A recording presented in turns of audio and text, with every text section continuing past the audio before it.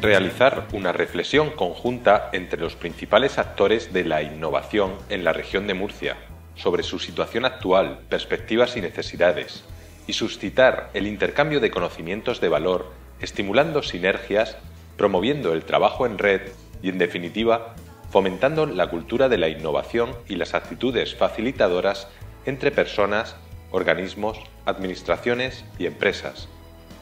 Esos han sido los objetivos de la primera jornada Compromiso con la Innovación en la región de Murcia, que se desarrolló el pasado 12 de mayo en el Parque Científico de Murcia. La jornada fue organizada por la Consejería de Industria, Turismo, Empresa e Innovación por medio de la Dirección General de Investigación, Innovación y Sociedad de la Información, en colaboración con la Unidad de Innovación del Vicerrectorado de Formación e Innovación de la Universidad de Murcia. El consejero de Industria, Turismo, Empresa e Innovación, Juan Carlos Ruiz, y el vicerrector de Coordinación e Internacionalización de la Universidad de Murcia, Bernardo Cascales, fueron los encargados de inaugurar la jornada en la que se han dado cita los principales actores de la innovación en la región, así como expertos de otras comunidades y del ámbito europeo.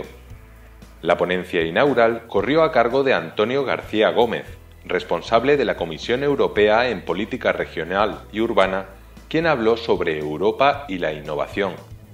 Además, se desarrollaron cuatro sesiones de trabajo paralelas sobre territorios innovadores, TICs para la innovación, innovación social e innovación pública. En la jornada han participado investigadores y técnicos tanto de universidades como de empresas y centros de investigación y desarrollo, gestores de espacios para la innovación, dinamizadores de colectivos sociales emprendedores, personal de las administraciones públicas, consultores y empresarios. Los participantes aportaron sus conocimientos y experiencias y debatieron sobre cómo conseguir hacer de la región un ecosistema innovador, proponiendo actuaciones necesarias para favorecer el proceso de descubrimiento emprendedor en cada uno de los ámbitos de las sesiones.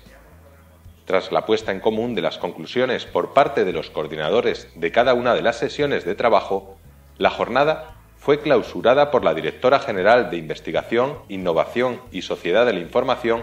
Celia Martínez Mora, y el vicerrector de Formación e Innovación de la Universidad de Murcia, Pedro Miralles Martínez.